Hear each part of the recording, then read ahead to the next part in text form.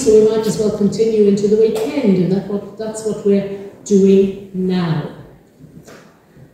Um, well, he is the, well, second most famous poet of the 18th century, the most famous one being his older contemporary um, Alasdair mac Mhaighstir Alasdair or Alexander MacDonald, the celebrated Jacobite poet.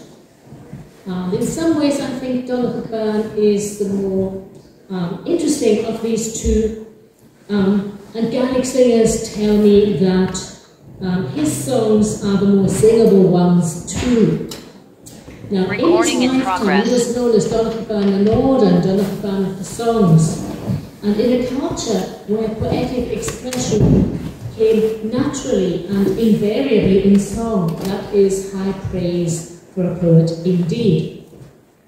Uh, the image, which I'm sure some of you will have seen before, is the commemorative pen at Donnchadh Bàn's birthplace, which the uh, Gaelic Society of Inverness put up um, in 1984 it was. Okay, let's see if I can get this to move.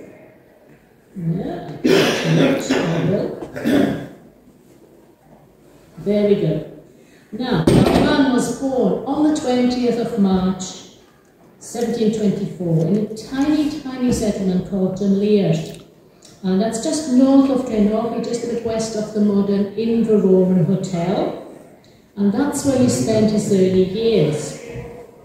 He came from a family of small tenants. They worked a joint farm, and as was common for people of his class, the poet did not get much formal education when young, if any. The parish school was just too far away to walk to, and anyway, schooling would have been possibly out with the means of his family. And like so many small farming communities all over the Gaeltacht, the Highlands and Islands, that were home to so many people in Donegal Barnes Day, Druimliart is now deserted. So that's what it looks like now, and here you see the view from Barnes front door, more or less, and it was dominated by Ben Dorain, the mountain which he later celebrated in a series of songs which many regard as his finest. And very beautiful they are indeed. Now when we took this picture at Druimliart, that's me for scale, um, it was totally unusual for that part of the world, a bit cloudy, and five minutes later we ran from the rain. But we got our picture, so that is, this is good. And if you look on the right, that is Ben Dorain in, in its full glory, taken from a slightly from a different perspective. So it is a very uh, obvious mountain. So the poet's childhood at Juliet was spent roaming freely, playing, and as he grew older, helping with the tasks of farming. He also spent time with local singers and storytellers and developed a love of the Gaelic language and its possibilities for songmaking. His models were the songs that were current in his area. There were love songs, lullabies, work songs, songs in praise of the praiseworthy, elegies for those who had died, and so on. So he um, absorbed the uh, conventions and modes of expression of a rich and varied tradition when young. He would have been familiar with village poetry as well, songs made in response to local events and involving local people, expressing approval or criticism or just commenting on the funny side of life. He also grew up in the run up to the last Jacobite Rising. So he must have come across Gaelic songs that explained Jacobite history and politics and that sought to recruit supporters to the cause, although um, he lived in an area where the Whig clan Campbell held power, so he wasn't subjected to the full Jacobite propaganda machine of the time. All these influences come together in his own work to a greater or lesser degree, and he honed his craft until he found his own unique poetic voice. And that happened at this event, the Battle of Falkirk in uh, January 1746. So, when the last Jacobite rising started, Donnchadh Bàn was 21 years old, and that's an age when adventure and daring do is much on the minds of young men. So, Donnchadh Bàn thought, here's an opportunity to make a name as a brave warrior for myself. And he joined, not Charles Edward Stuart's army, he joined the Argyll militia on the side of the government. He was probably not so much motivated by political conviction um, as by a desire to win heroic glory, and he had a financial incentive too because he was a substitute for Archibald Fletcher of Cranach, who at the age of 70 felt that fighting was not for him and he promised Donnchadh Bàn 300 merks, Scottish currency in those days, if he went and joined the militia in his stead. Now that was a lot of money for a young man from humble circumstances. So off the poet went, having borrowed Fletcher's sword because he didn't have one of his own. And then at the Battle of Falkirk, the government army was routed by the Jacobites and Donnchadh Bàn fled along with the militia and he lost the borrowed sword alongside his heroic pretensions on the way. Eventually he returned home, wanted his money from Fletcher, and Fletcher said, no, he lost my sword. so Don felt that was really rather unfair. It was his fault that the Jacobites were just better. Um, so he made a song about it and justified his actions at the battle. He tells us the Jacobites and Clandonald among them were just better fighters. And anyway, Fletcher's sword was useless. It was dreadfully uh, unheroic, basically a lump of rust, rusty iron.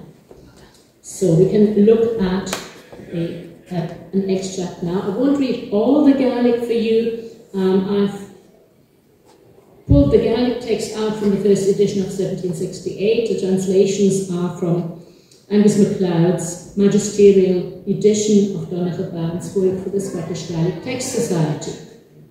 So a wee bit. Jährlich fuhres an zijn roeikrein, nodig roos an svoerle lehet. Wat prins Charles le goed danke, siet een gjale tjach na rahat. Gaat doorshin, fachtel command, a jeri ar naidjan skahu. Ach.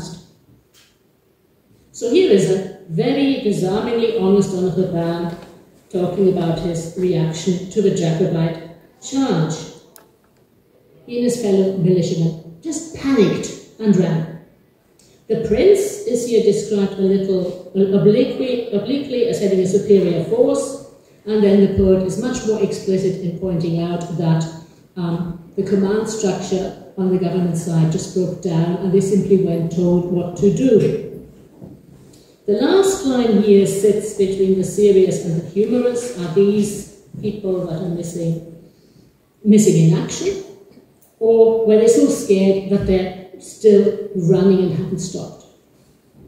There is an undercurrent of sympathy for the Jacobites running through the song, but it's done very skillfully, and the poet could deny any seditious intention if any, anyone challenged what he was doing in this. Later in the song, he has a go at Fletcher's reaction when he returned home minus that sword. Um, Fletcher was probably not too happy here being compared to a grey badger.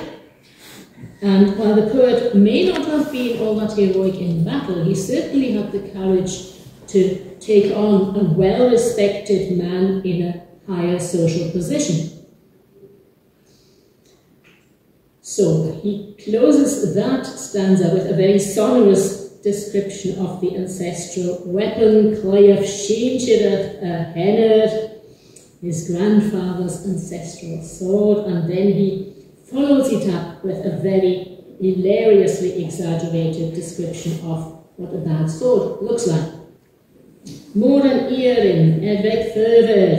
Go bishop agus a chléh si golúpach lénach dearnach sa cat cail an an san abich.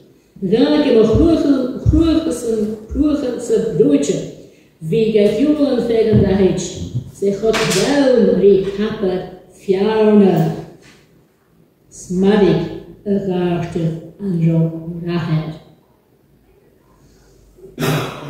In Gaelic poetry, you get traditional descriptions of gleaming, elegant, keen-edged, blue-fluted swords of superior workmanship. That's not what you've got here. You've got the opposite. It's poorly maintained, it's twisted, it's too heavy even to be carried around easily. And far from being an heroic weapon, this sword was likely to draw ridicule from onlookers. Donach, what are you doing with this lump of iron? Are you going to fight with that? Ha ha. So by implication, Fletcher and his forebears, who owned this implement, were not heroes either.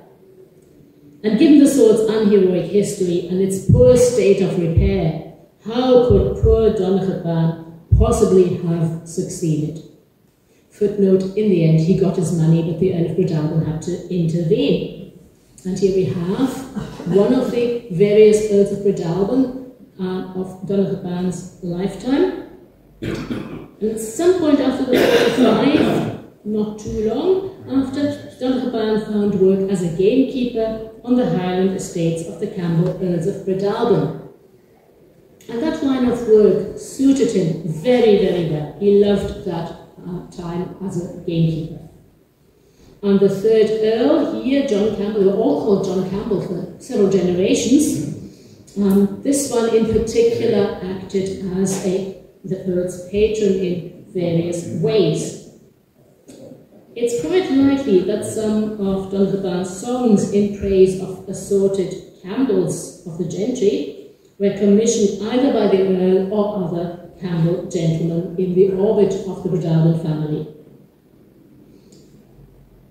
Most of the poet's finest nature poetry was composed during his time as a gamekeeper.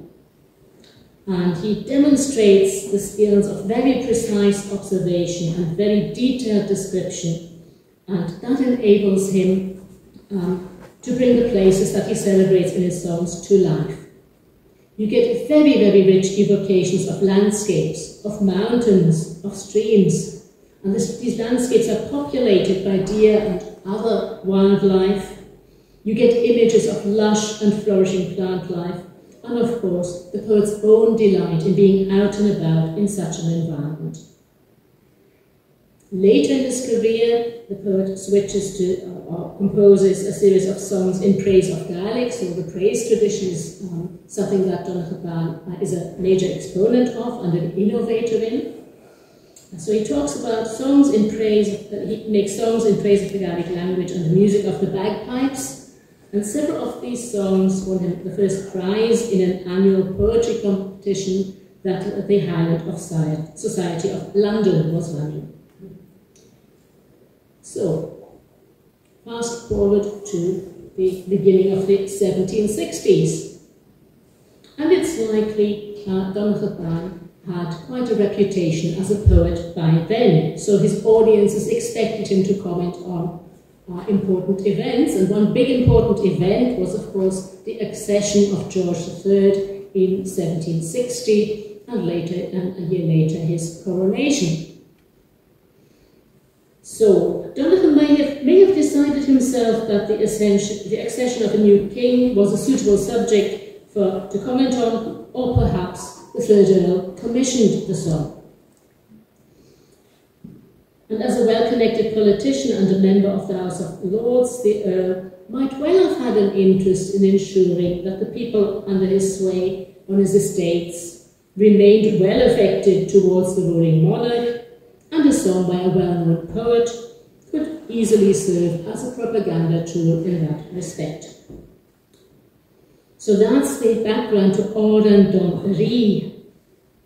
Now the young king came to the throne in a time of conflict. The Seven Years' War was in full flow at the time, so um, some patriotic sentiment was called for. And Donnchadh Bàn certainly puts in a good effort to create a panegyric for the new king. The song begins with a toast drunk in Spanish wine and punch, um, for the new king and devotes the entire stanza actually to the process of toasting and drinking. I'll just give you the first line. Um, this is the toast of the king we wish for. You can take that two ways. Is it the king or the drink that the community that the poet represents wishes for? Um, an excuse for a party, the coronation of the king or the accession of the king. And given the fondness of the Jacobites for drinking the health of the king over the water, there is a playful ambiguity in that whole first stanza, and that is present until the poet removes any doubt in the second stanza, and that's where he identifies the king um, very clearly as the great grandson of the first Hanoverian king. Smoren sonnesans yn rief yn y chai yn yr isio chrwnyr. Ans yn ag a hynslach, an dwyrys hyn siarad cor gwchys, albain is sasyn is erin, nish a geirch gan dyn leiniar, mae'n ach achgys rief roier yn a choichach a gwrs iad. So this endorses George as a king who is universally accepted throughout his domains in Scotland, England, and Ireland. So it emphasizes or um, describes a new post-Jacobite unity, never before, never seen before. Yeah. Um, that did perhaps not quite reflect reality everywhere, but no doubt it was true as a general trend. The king's right to the throne is confirmed in a suitably loyal phrase called Ruchish, translated as dynastic rights, which is a phrase that would sit quite happily in a Jacobite song celebrating a Stuart king. So Donnchadh Bàn pulls in Jacobite um, uh, ideas, Jacobite expressions um, in his song to George III. The war that is in progress is duly referenced in the song, but the emphasis here lies on the successes of Britain and her allies. But the poet highlights the Gaels' military prowess, uh, in particular, as something that contributes to these successes. He also takes the distrust of the Gaels after the, that, that followed the 45 into account here. Um, Svahis Greshken for an Dulach Manach Bunyach yet for a time they were held suspect as if they were alien to the nation. But he also represents the current war as an important step in the rehabilitation of the Gaels since they are now fighting bravely and honourably for the Hanoverian king's cause. And this is where it gets very interesting, because later on in the song, Dun lists the improvements that the Gaels hope for under this new king's reign.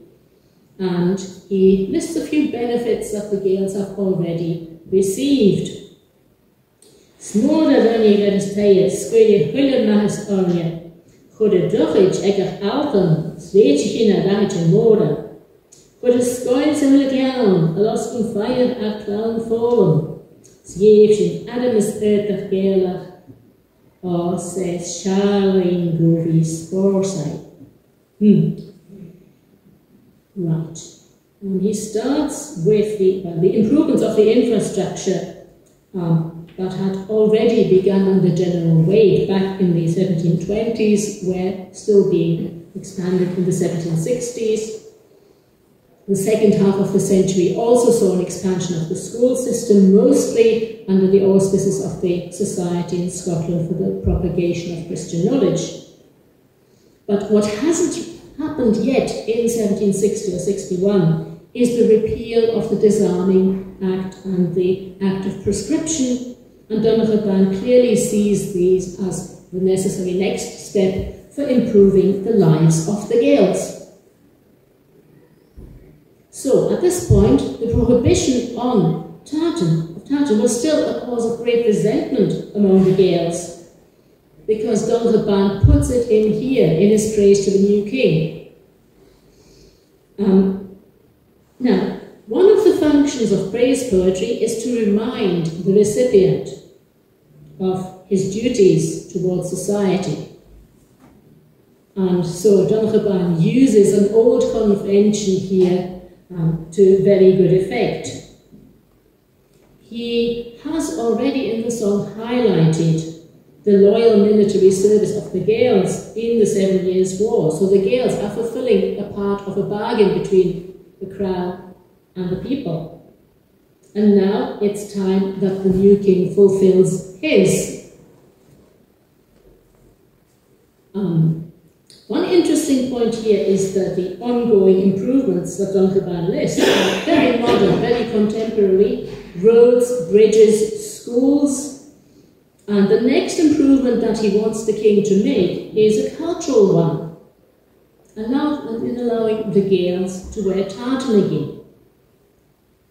It, tartan has symbolic value still. It would allow the Gaels to express their identity in visual terms without being tainted with a suspicion of being Jacobites. The Highland regiments, of course, were allowed to wear tartan uh, already, but um, he wants that expanded to the, the rest of the Gaels.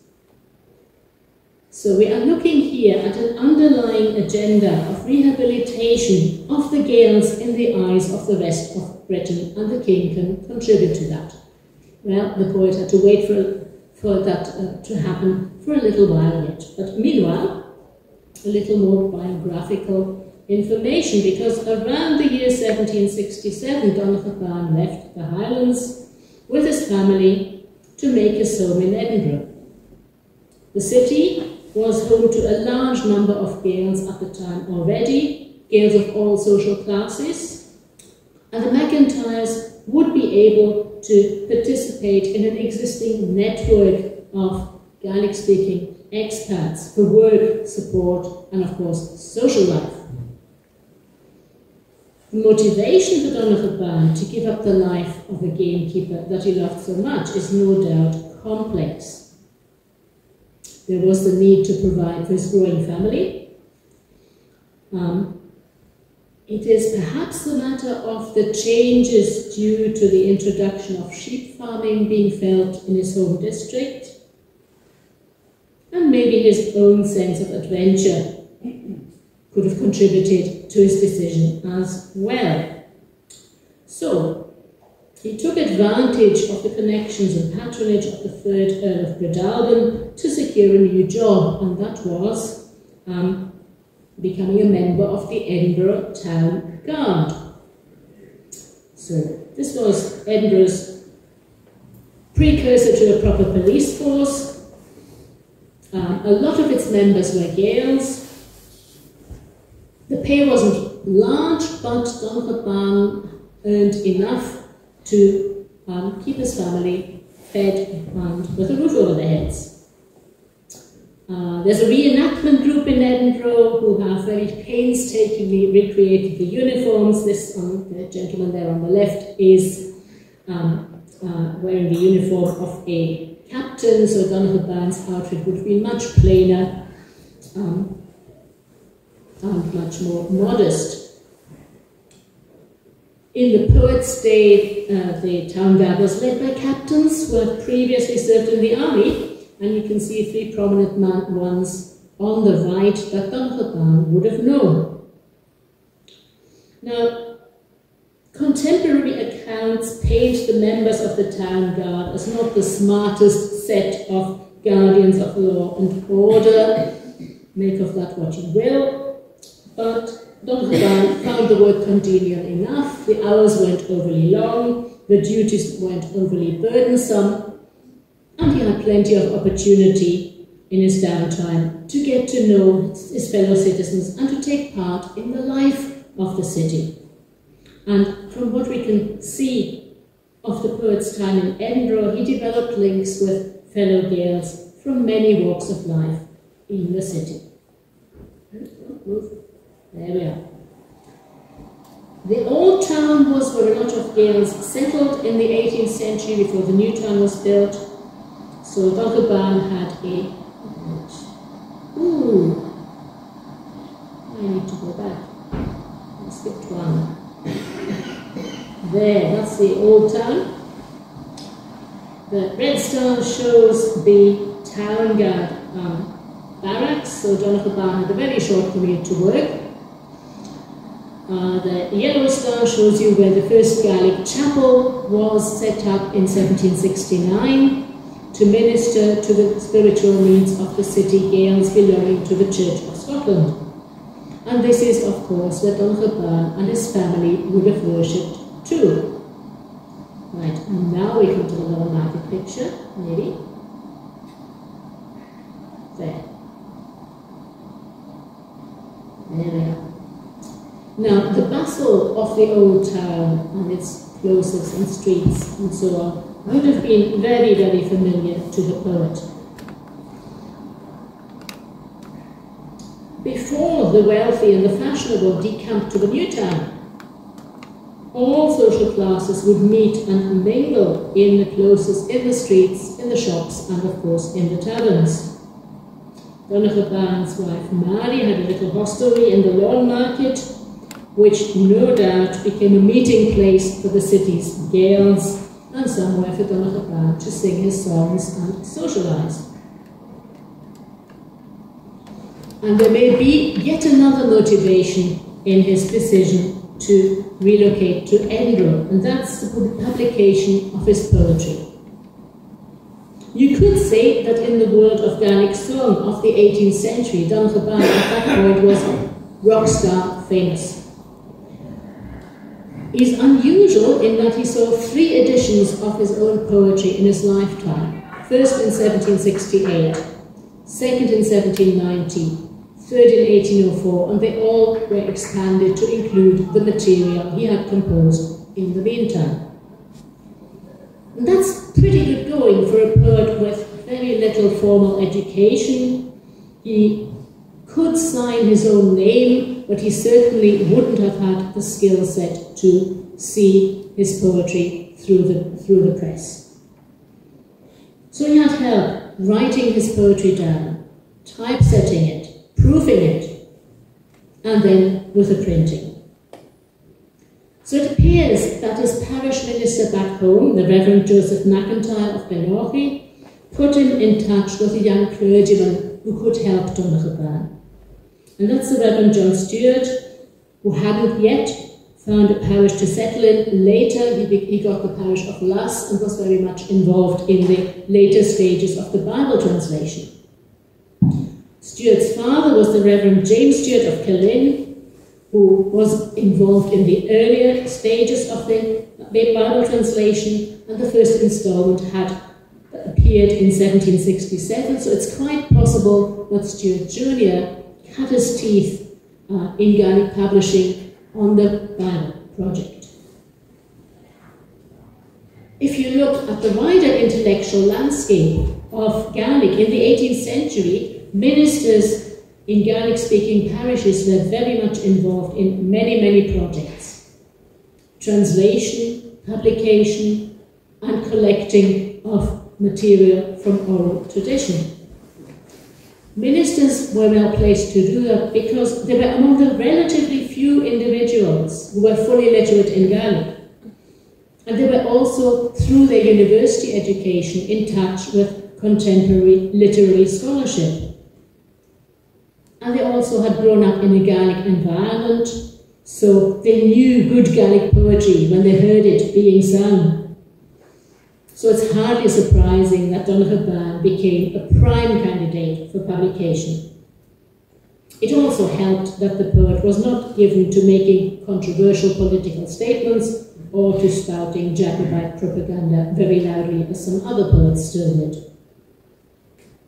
And then there is the Earl of Breadalbane, who was a significant figure in politics at the time, um, giving patronage to the poet so there was a degree of establishment endorsement in his poetry too. We don't know how the first edition was marketed, but we, we know what happened with the second and the third ones. Both were published by subscription, where buyers of the book paid for it upfront pre-publication. So, crowdfunding is nothing new. They knew how to do it in the 18th century. And it was a great way, in various ways. You could gauge the interest in a publication by the number of subscriptions you were able to collect. And you also generated money up front that you could then use for printing and so on. So it was good because it minimized the financial risk for the author and for the printer as well. Donnchadh Bàn did the public relations. He went on tours all over the Highlands to solicit subscriptions and he was really good at it. In 1790, he got a whopping 1,478 subscribers from all over the place. 673 in 1804 when he was getting on a wee bit and couldn't get quite uh, about quite as far. Um, there are other reasons why the numbers are lower as well. And um, it's a good thing that he got these subscriber lists because they're printed in the backs of the books. You can go and see if any ancestors of yours are in there. And also, if you bought a book by your name was in, if your name was included, that gave you bragging rights. I supported a literary venture. So Stan was here able to tap into all sorts of networks of Gaels of all social classes. Um, and whenever he went on holiday back home, that's what he did, collected subscriptions, and then when, when he had enough money, the books came out. Uh, he also print, had um, pamphlets of individual poems printed up from time to time, and they were sold, and we still have some ex examples of them.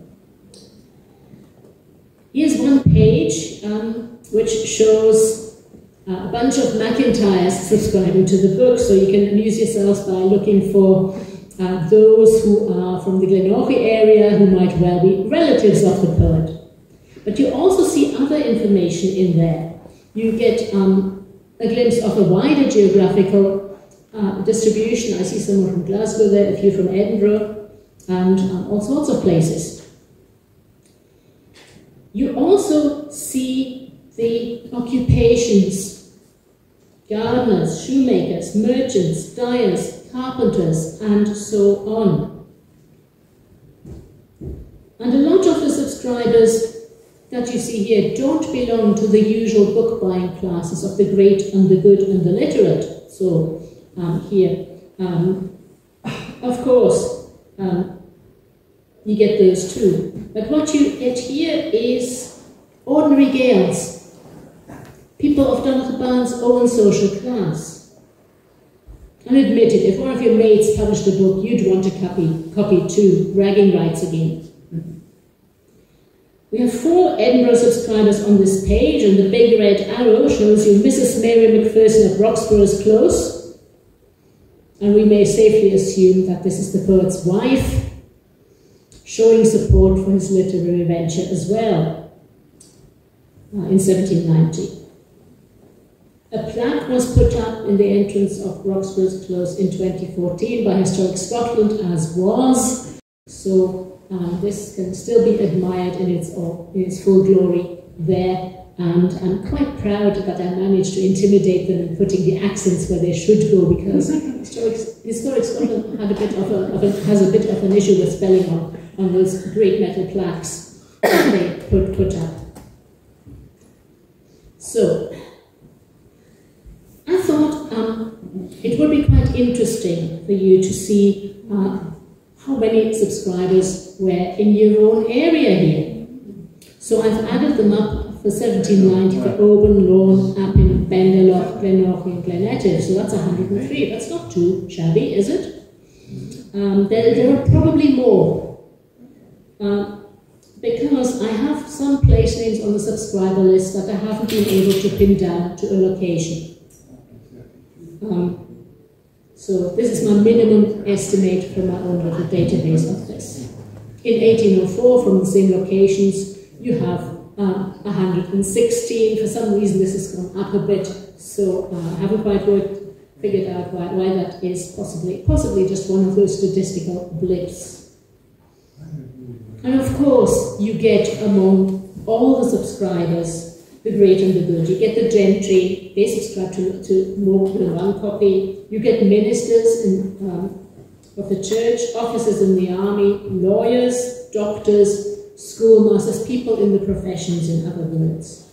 So um, these um, subscriber lists haven't been mined to yield all the information that they contain. It's a very exciting, very interesting source for Gaelic history in various um, levels, at various levels. So, back to more poetry. A very important point to note is that Gaelic poets don't write poetry, they compose songs. Uh, certainly in. Bàn's day. It's important to remember that almost all Gaelic poetry of the time was meant for performance as songs.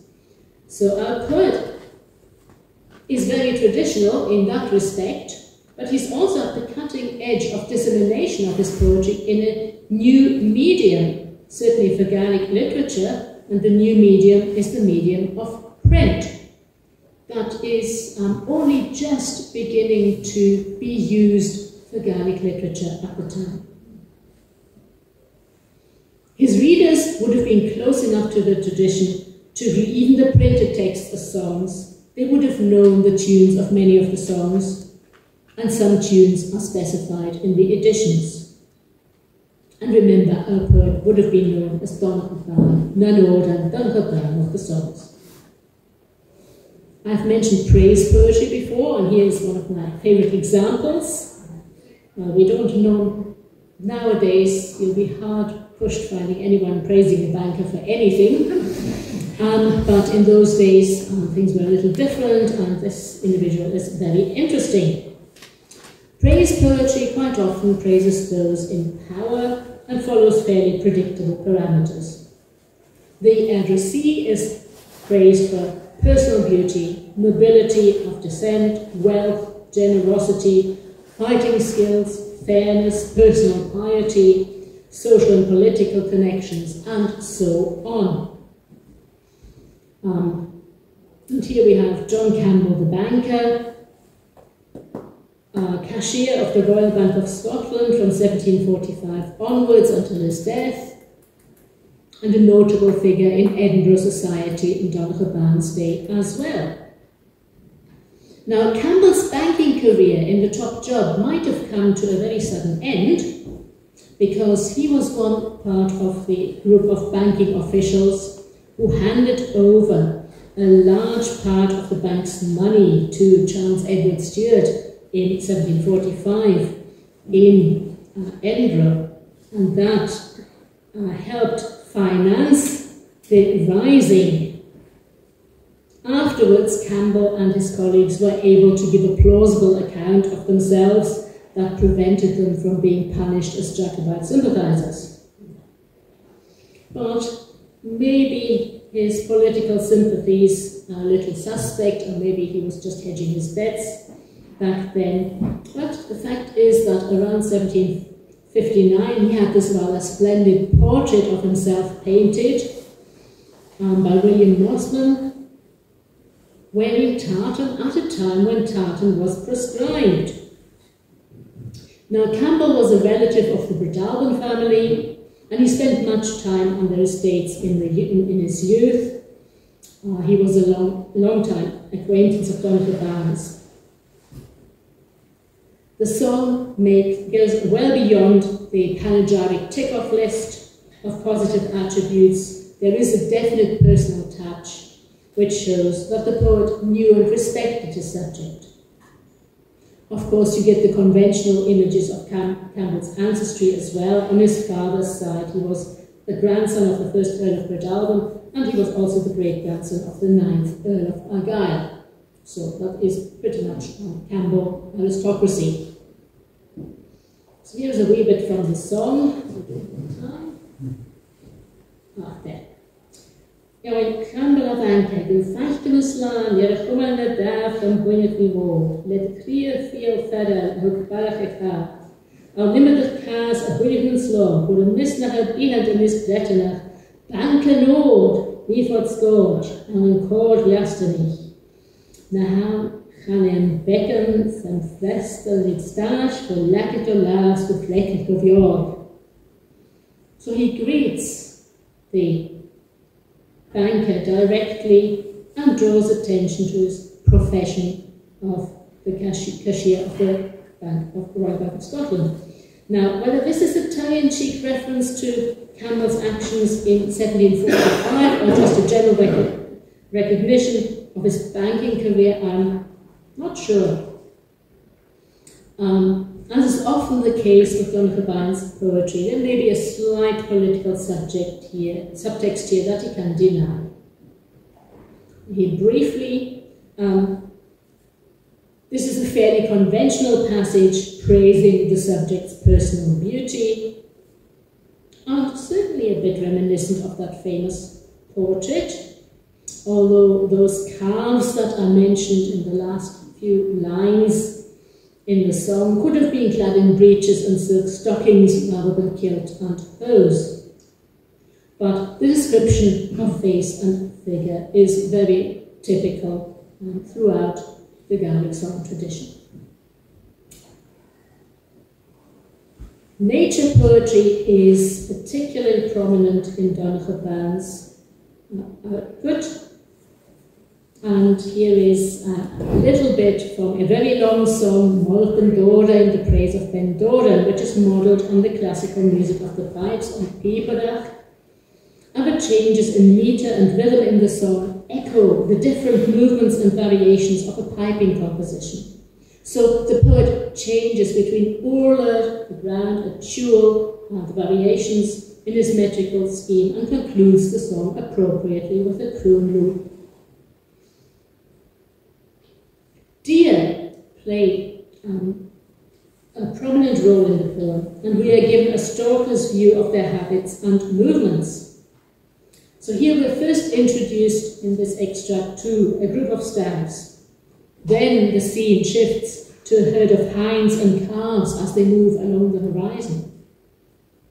The place name, Codacruchard, anchors the description in a specific location, on Ben Dorain, and finally, there's a very lovely note of admiration when Donnchadh Bàn points out the lightness and nimbleness of a hind bounding out of sight.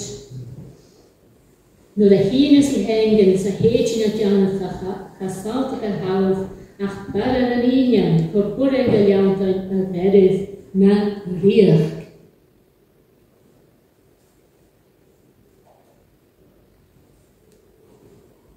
And have more description of deer. Where Donnchadh Bàn describes the sounds of the deer in musical terms. And he builds up a contrast between the roaring of the stag in the rutting season and the much quieter communication between a hind and her calf. So, looking at the timings, I think I need to move on a little bit. Um, and move on to the habitat of the deer, which Don Donnchadh Bàn was, of course, very intimately familiar with. So, um, we are here invited to imagine a hind drinking from a hillside spring or nibbling different plants. And then the poet zooms in on these individual plants. He talks about different grasses and rushes, and then moves on to a variety of flowers, primroses, St. John's wort, wort orchids. So taken as a whole, the poem is a poetic reflection of a healthy and functioning ecosystem before the coming of the sheep and before the um, uh, landscape changed as a result. So this, this would be a very interesting source for ecologists to look at if they're uh, looking at restoring mountain, mountain habitats for plants. Okay, a little, uh, a little snippet from Òran Coire a' Cheathaich, another famous song in praise of another beautiful uh, place. It's on a less ambitious scale than the Ben poem, but it's uh, equally well executed. And this is one of my favorite stanzas.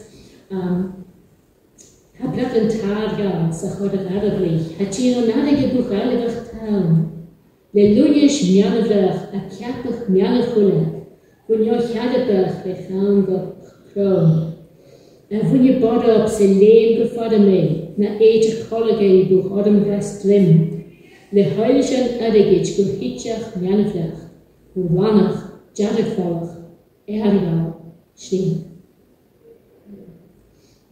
So again, the objective here is to create a word picture of a beloved place, with all its flora and fauna, with place names anchoring the song in a real location, and again the locations are accompanied by, say, uh, vignettes of a stag in the rutting season, a skylark flying up singing, or here we have a salmon catching insects.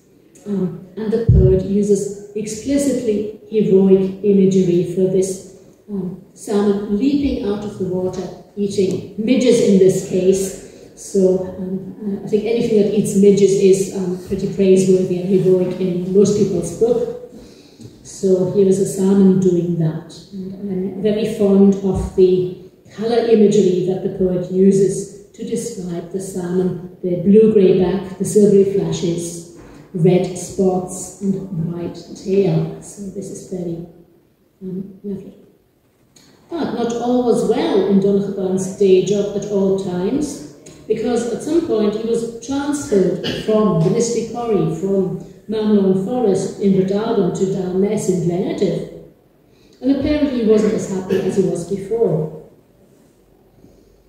To add insult to injury, the man who replaced him in his old job, one Alistair McEwen, seems to have been less incompetent, if the poet's testimony is to be believed. Um, so this is Cumha Coire a' Cheathaich, the lament for Misty Corrie. McEwen here is described in this stanza as unpopular and ill-tempered, and by implication Donnchadh Bàn asserts that he himself was congenial and well-liked, and by all accounts this is true. Also, Donnchadh Bàn here highlights McEwen's incompetence in stalking and shooting the deer.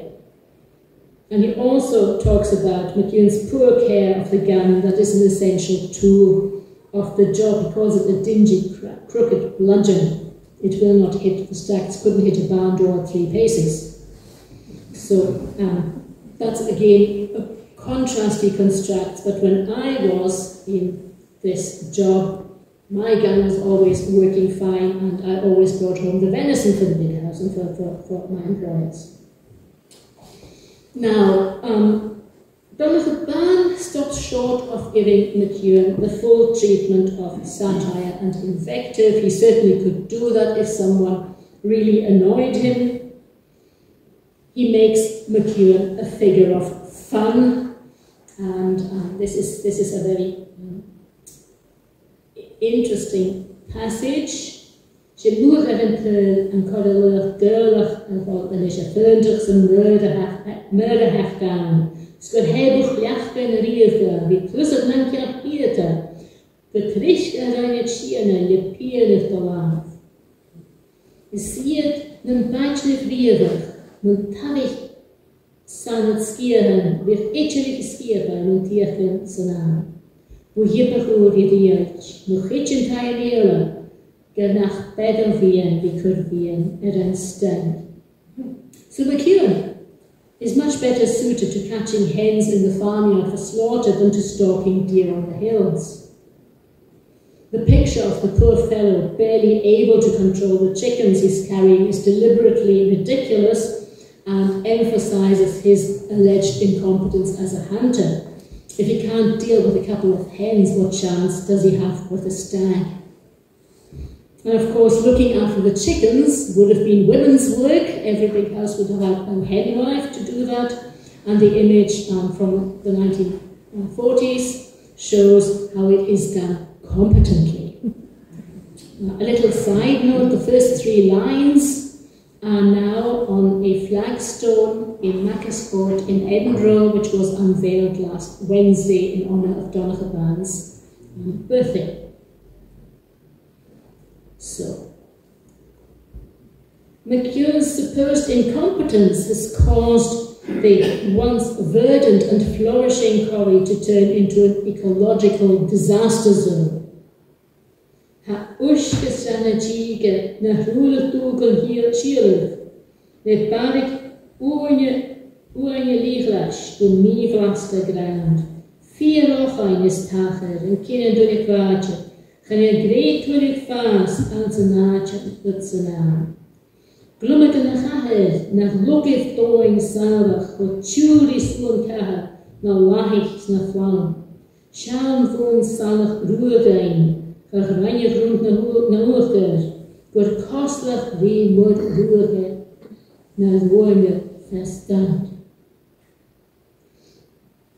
describing the devastation of the Misty Corrie, the poet uses the well-used poetic device of pathetic fallacy, where good or bad rule is reflected in the state of the natural world.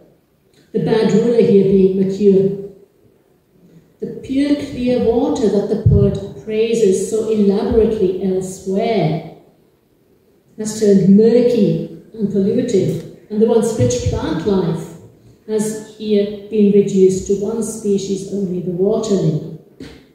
So he has a good go at poor McEwan, and um, it probably, it probably wasn't as bad as the poet makes out.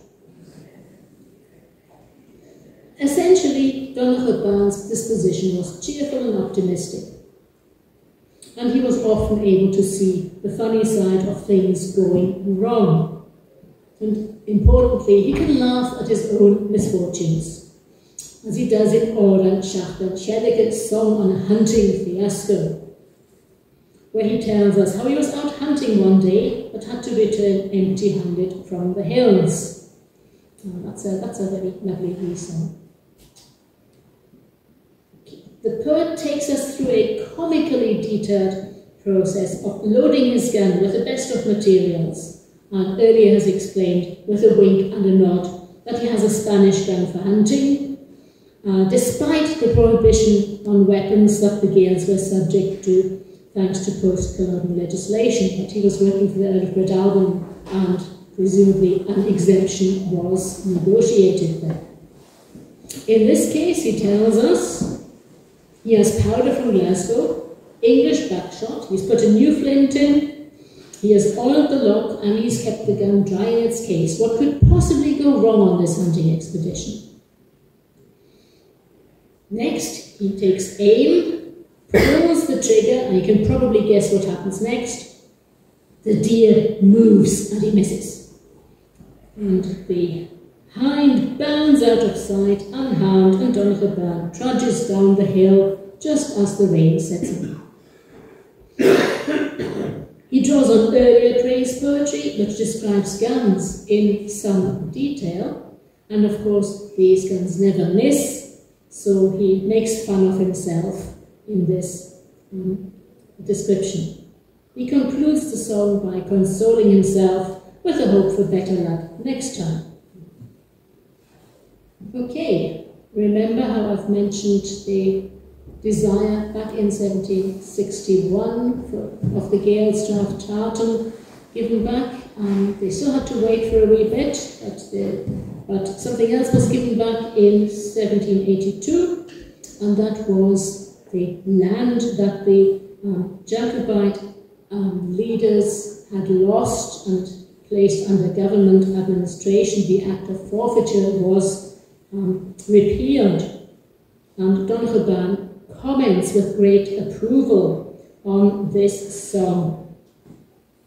So here he has heard the news and he is delighted. Um, the gentry have got their lands back. So he acts as a spokeswoman for the community of Gaels who were affected by the act.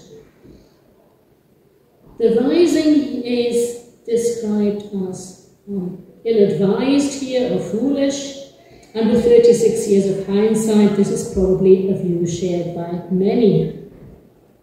Now, Charles Edward Stuart was still alive at that point. He only died in 1788. But um, the repeal of the Act serves to underline the reality that the Jacobites were a spent force. And Donnchadh Bàn emphasizes there is now a new generation in place in almost all of the formerly Jacobite families. So here's a new beginning for the Gaels with the repeal of the Act.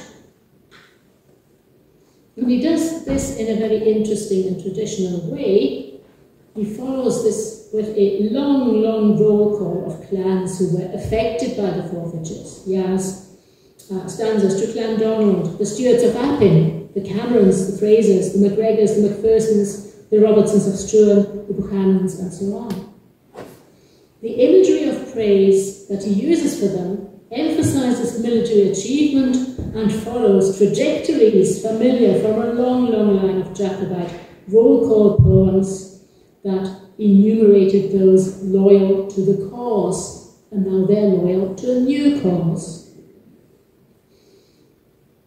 And here's an example where heroic adjectives are very well represented. Uh, 18th century Gaelic poets love their adjectives. Um, so here he talks about skill with sword and gun. So that's you get that in Jacobite poetry as well. He doesn't tell us uh, overtly the name of it doesn't tell us the clan, name of the clan, but he mentions place names: Struan, Struan, Du And um, if you know a bit about the um, Highland history, you can identify the Robertsons of Struan from that. So each formerly Jacobite clan is celebrated for their military prowess, and this has political significance. Now they're valuable to the state, and it's possible to read such, such passages also as a contribution to the ongoing rehabilitation of the Gaels and to the ongoing uh, rebuilding of the confidence of the Gaels themselves in their own culture after the post-Culloden depression.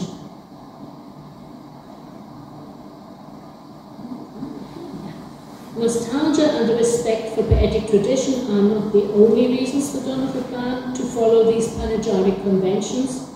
Uh, the British Army was always in need of loyal recruits for the Highland regiments um, in the successive conflicts of the budding empire, and um, the military potential of the Gaeltacht Highlands was very much of interest to the British government. So here's another political statement in this stanza. The Gaels are loyal to George and keen to join the Highland regiments to play their part, and the restitution of the forfeited estates will serve to reinforce their loyalty. So chiefs will once again lead their men to fight in the service of the king and now the king is George. He praises those involved in negotiating and implementing the restoration of the Jacobites' estates. And this is intellectual and legal argument that he emphasizes um, in favor of restoration. But there's also a little note of criticism of government policy here. It's quite subtle, you blatantly miss it. He says that this is there is a fundamental right that has been denied, and this is now going to be maintained again. The Gaelic line here is um, um, the maintenance of fundamental right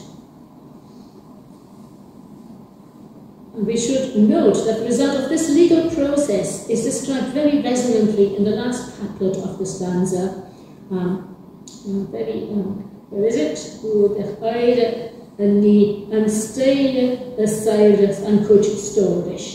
So that alliterates nicely. So lots of emphasis here.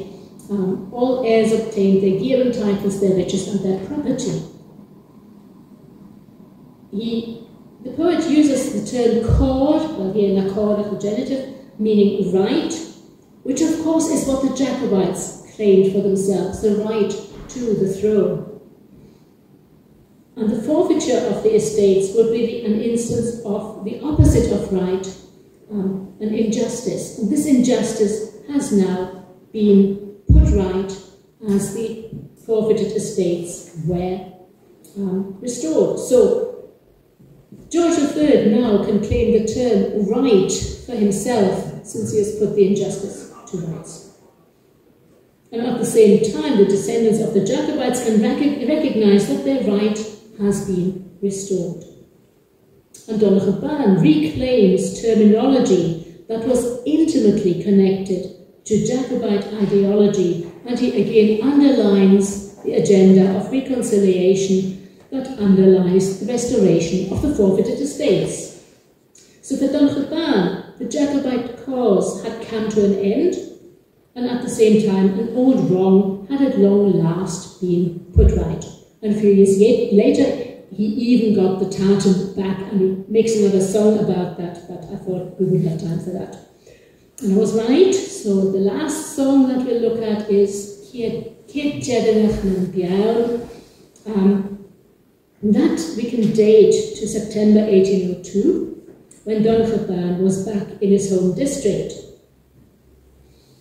And after this visit, when he climbed, had climbed Ben Dorain, he made this song. He was 78 years old. Now, Ben Bendoran is a serious mountain. If I can climb a mountain of the size of Ben Bendoran at the age of 78, I, won't be, I will be pretty pleased with myself.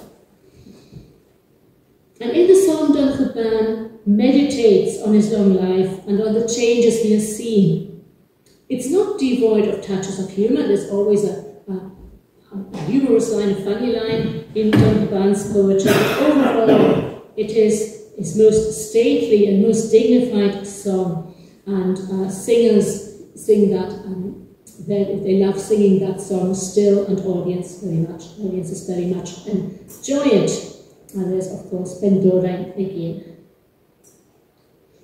Here, the poet remembers his days as a gamekeeper with great fondness and in great detail, going off in the hill into the hills, and he tells how he spent all day out in all weathers, watching the deer, pursuing the deer, and remembers being fit and young at the time.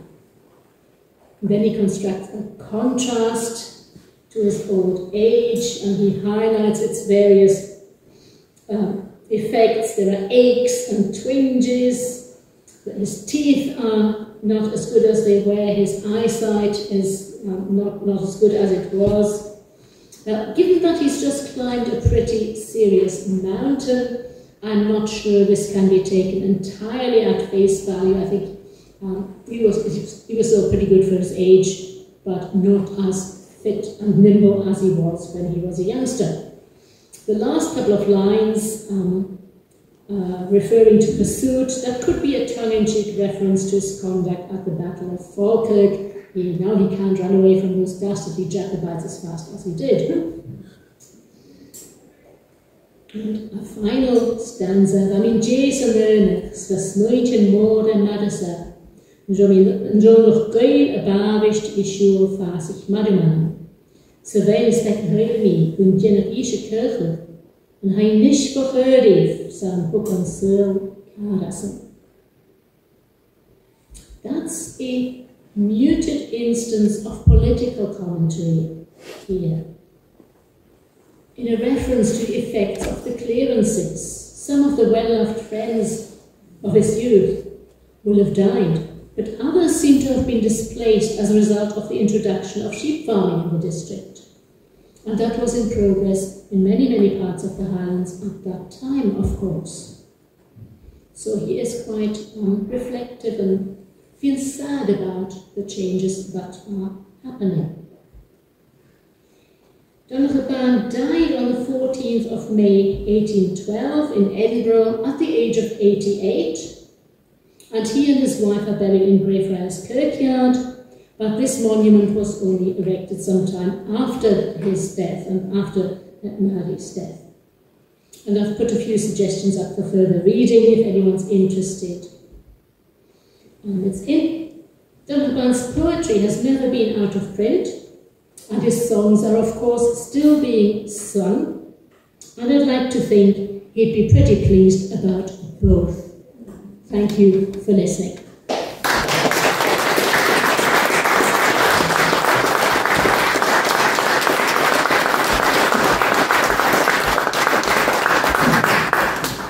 Thank you so much. Do we have any questions? Back? I hope you don't mind me asking, but are there any songs which have been translated into English so that I could sing them? Yes. Um, can you repeat the question, please? The, the question was um, Have any of his songs been translated into English? Pretty much all of them. And there is um, the first book on the slide. Uh, that is Angus MacLeod's edition of 1952. Um, if you go to the Gaelic Books Council website, you can still order a copy of the um, 1978 reprint, but hurry, uh, there are only 15 copies left. oh well, last time I spoke to the secretary of the Scottish Gaelic Text Society, which published the book, and that's, that's the current count. So um, that is a, I'm very fond of that particular translation. Um, Iain Crichton Smith has translated Moladh ben Dorain, The Praise of ben Dorain, so has Alan Riach. Um, there are a few translations dotted here and there of individual um, texts, but the, my go-to edition is Angus MacLeod's. He gets the rhythms and the cadences of Donnchadh Bàn's poetry into his translation in a very um, pleasing manner.